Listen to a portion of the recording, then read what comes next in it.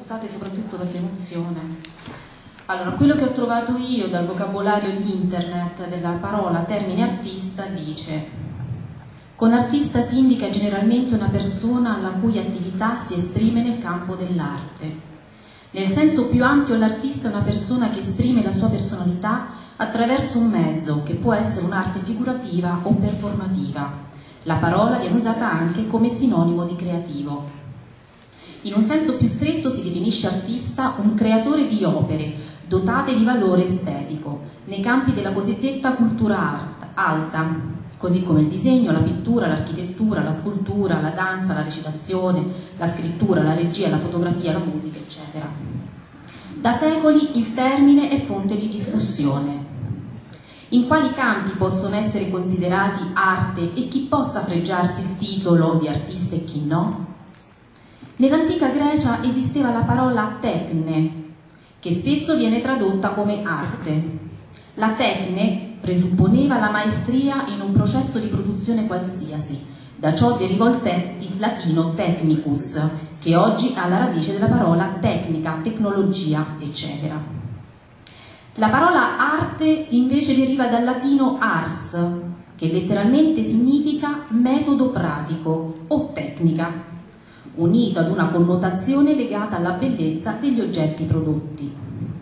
Nel Medioevo esisteva già la parola artista, anche se il suo significato si avvicinava più a quello che oggi definiamo artefice, mentre era sconosciuta la parola di artigiano, vabbè, quello non c'entra niente. L'artista era colui che nel suo mestiere sapeva fare qualcosa meglio degli altri, quindi era l'eccellenza. Per me l'artista è appunto quella persona che attraverso l'utilizzo delle cose terrene come la penna, il pennello, lo scalpello o qualsiasi altro materiale che si tocca, tangibile, esprime le sensazioni intoccabili e astratte. Per me l'artista è colui che rende tangibile il pensiero. E neanche a farlo apposta lei ha parlato di esoterismo e esoterismo. Beh, per me l'artista per eccellenza è Marcel Duchamp e lui è l'artista alchemico di esoterismo ed esoterismo per eccellenza e lui è un artista dada, è un artista secondo me 360 gradi, scusate l'emozione. Respiraci eh, eh, cosa? Respiraci dentro. Non ho capito. Respiraci dentro. Ah! Lui secondo me appunto è un artista a 360 gradi perché oltre a usare la parola, il cinema, la pittura, la poesia, usa qualsiasi tecniche materiali per esprimere quello che secondo lui è l'arte e che però per l'arte dada l'arte non è arte, perché il dadaismo è l'arte della negazione. E io non ho portato una poesia effettivamente, ma ho portato il metodo dadaista per creare una poesia. Per fare un poema dadaista, questo lo scrive Tristan Sarà nel suo, scusate nel, la pronuncia non sono purtroppo svizzera, quindi. Secondo il manifesto sull'amore debole e l'amore amaro del 1920 appunto di Tristan Sarà, questo è il metodo di fare una poesia. Per fare un poema dadaista prendete un giornale, prendete un paio di forbici, scegliete nel giornale un articolo che abbia la lunghezza che voi desiderate dare alla vostra poesia.